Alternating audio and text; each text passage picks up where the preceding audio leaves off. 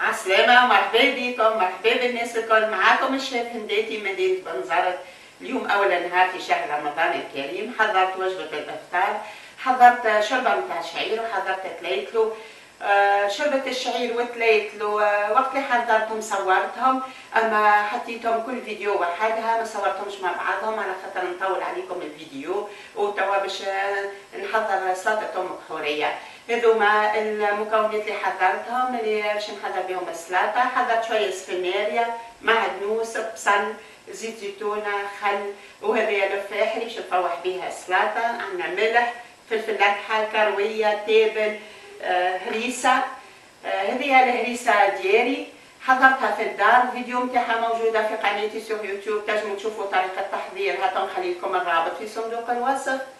وعندنا راس ثوم. قعدت نهضم باش نجبنهم وعندنا زيتون. وتوا باش نبدأ آه، نحضر السلطة. نقشر السفيداريا ونقصها. ونقص المعدنوس ولا البصل ونقشر راس الثوم ونرجع لكم.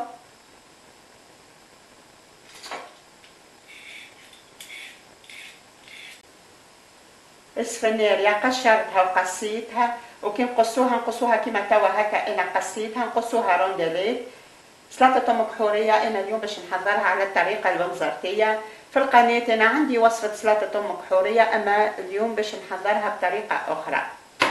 المعدنوس قصيته جويد هذا البصل قصيته الثوم هرسته الكعبتين عظم حطيت لهم الماء وباش نجبنهم.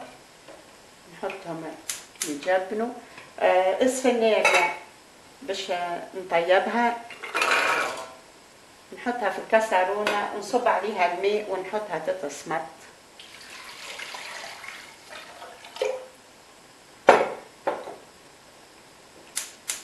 وقت اللي تطيب السفناريا نقطرها من الماء ونفوحها ونحضر السلطة. الكعبتين عظم تجبنوا هني توا باش نطفي عليهم. نستناهم يبردوا وبعد نقشرهم. السفناريا تصمتت توا باش نطفي عليها ونقطرها من الماء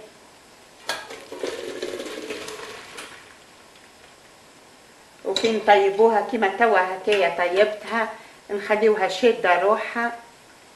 وتوا نستناوها حتى تبرد شوية سفناريا ونحضر الخلطة متاع السفناريا بردت وقطرت من الماء. توا باش نحضر الخلطة متاع الفاح باش نحط شوية ملح شوية تابل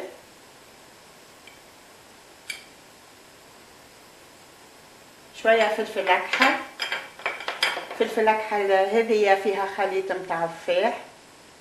الفيديو متاعها موجودة في القناة تنجموا تشوفوا طريقة التحضير والفاح تنخلي لكم الرابط في صندوق الوصف. باش نحط شوية كروية.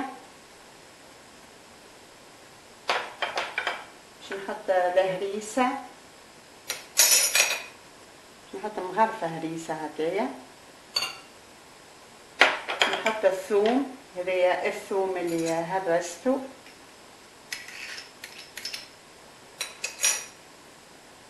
نحط الخل باش نحط مقدار نتاع ربع مغرف خل. واللي ما يحبش الخل ينجم يستغنى عليه يحط القارص في بلاصة الخل. نخلط كل هريسة في وسط كل الفاح وبعد ما خلطها توا باش نحط الزيت. نحطو مقدار نتاع ثلاثة مغارف زيت زيت زيتونة. نخلط. وبعد ما خلطتو اكل لفاح باش نصبو فوق السفناريا اللي سمطتها وتوا باش نخلط.